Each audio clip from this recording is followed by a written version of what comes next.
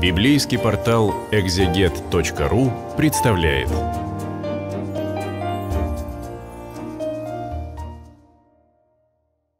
Сегодня на библейском портале «Экзегет» мы продолжаем изучение первой книги Паралипоменон, и мы пытаемся найти какое-то назидание в первых главах, где в основном перечисляются имена э, родоначальников э, тех или иных э, племен, э, тех или иных э, родов. И вот если говорить о восьмой главе, то с первого по 28 стих потомки Вениамина, это сын Иакова и Рахили, Вениамин, он же брат Иосифа, Иосифа Прекрасного, и самый младший из 12 колен еврейского народа. Как я уже объяснял, это колено известно тем, что из него произошел царь Саул. Это имя э, по-еврейски произносится как Шауль. Но это колено Вениаминова известно и тем, что из него выходит э, апостол Павел. И его имя транслитерируется в синодальной Библии как Савол до обращения ко Христу, когда он становится Павлом – но на самом деле его имя было такое же, как и у первого царя Саула, то есть он тоже был Шауль. Но потом произошло перемена его имени. Собственно, предки и потомки царя э, Саула, они, говорится, с 29 стиха,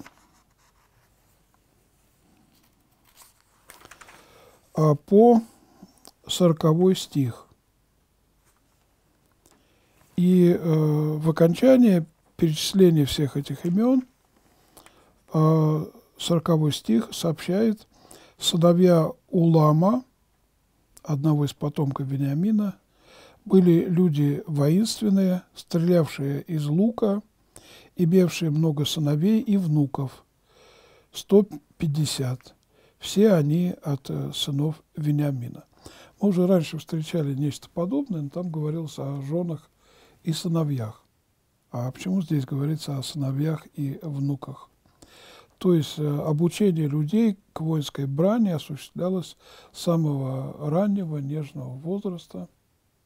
И в этом принимали участие не только отцы, которые обязаны по закону Божию воспитывать э, своих сыновей, но и деды, которые воспитывают Э, внуков, наставляя их э, вере и готовя к тем духовным браням. То есть здесь как бы автор этой книги, Ездра, отдает новый список колена Вениаминова, но уже э, не в общем перечислении колен израильских, а в связи с положением Иерусалима, который по традиции принадлежит э, Вениамину – 18 глава 28 книг, 28 стих э, книги Навина, там об этом говорится, и в котором э, в этом городе Давид готовился построить храм. Список праотцов Саула он отличен от списка данного в первой царе 9.1, в первой царей 14 глава, с 50 по 51 стих. А, но отличия, они несущественны, они могут быть связаны с теми ливератными браками, которые заключались, когда иногда дается имя родного отца, а иногда дается имя ливератного отца.